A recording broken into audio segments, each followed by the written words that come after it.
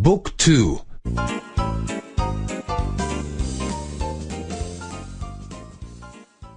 마흔 아홉 마흔 아홉, 스포츠 스포츠, 운동을 하세요?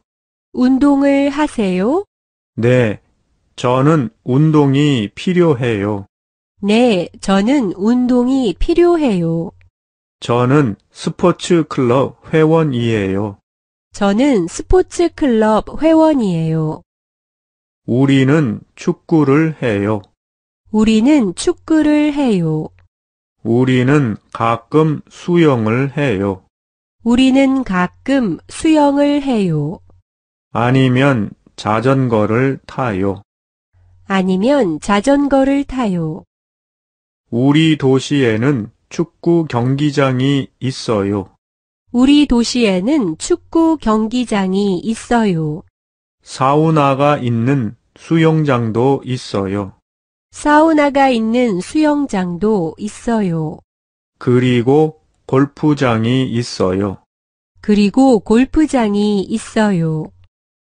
TV에서 뭐 해요? TV에서 뭐 해요? 지금 축구 경기를 하고 있어요. 지금 축구 경기를 하고 있어요. 독일 팀이 영국 팀과 경기하고 있어요. 독일 팀이 영국 팀과 경기하고 있어요. 누가 이기고 있어요? 누가 이기고 있어요?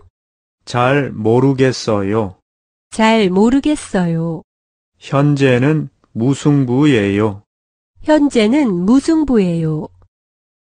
심판이 벨기에 사람이에요. 심판이 벨기에 사람이에요. 이제 페널티킥이에요. 이제 페널티 킥이에요. 골인 1대 0. 골인 1대 0.